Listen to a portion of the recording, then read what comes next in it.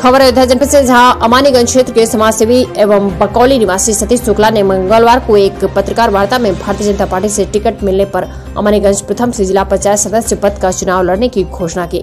सतीश शुक्ला ने पत्रकार वार्ता में कहा, वह भारतीय जनता पार्टी के पुराने कर्मठ एवं निष्ठावान कार्यकर्ता है और उन्होंने पार्टी पदाधिकारियों और सम्मानित जनप्रतिनिधियों से टिकट की अपील की है। उन्हें आशा है कि पार्टी उन्हें अमानीगंज प्रथम से उम्मीदवार बनाएगी। उन्होंने कहा, पिछले कई वर्षों से वे भारतीय जनता पार्टी की रीति नीति एवं निर्देशों के अनुसार कार्य करते आए हैं और आगे भी पार्टी के निर्देशों का पूर्णतया पालन करेंगे।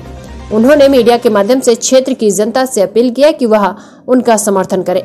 उन्होंने कहा, क्षेत्र की जनता के सुख दुख में हाजिर होऊँगा और क्षेत्र के चौमुखी विकास के लिए हमेशा प्रयासरत रहूँगा। सतीश शुक्ला ने कहा, मैं वादा करता हूँ कि जनता ने यदि मुझे जिताया तो मैं उनके सम्मान पर कभी कोई आँच नहीं आने दूँगा। नमस्कार। मैं सतीश शुक्ला, भारतीय जनता पार्टी का निष्ठावान कार्यकर्ता हूँ। वर्षों से मैं पार्टी के दिशा निर्देशों एवं रीति नीति के अनुसार कार्य कर रहा हूँ। आसन्न पंचायत चुनाव में मैं अमानीगंज प्रथम जिला पंचायत क्षेत्र से चुनाव लड़ना चाहता हूँ।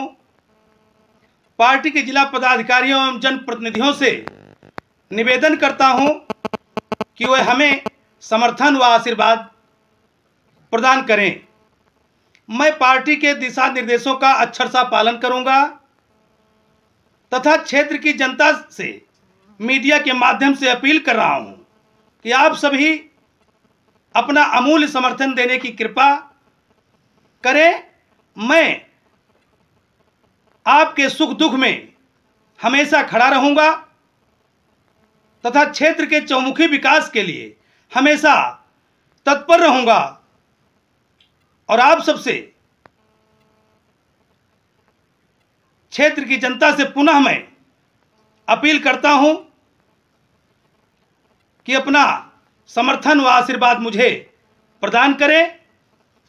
पुनः आप सबका बहुत बहुत धन्यवाद। जय श्री राम।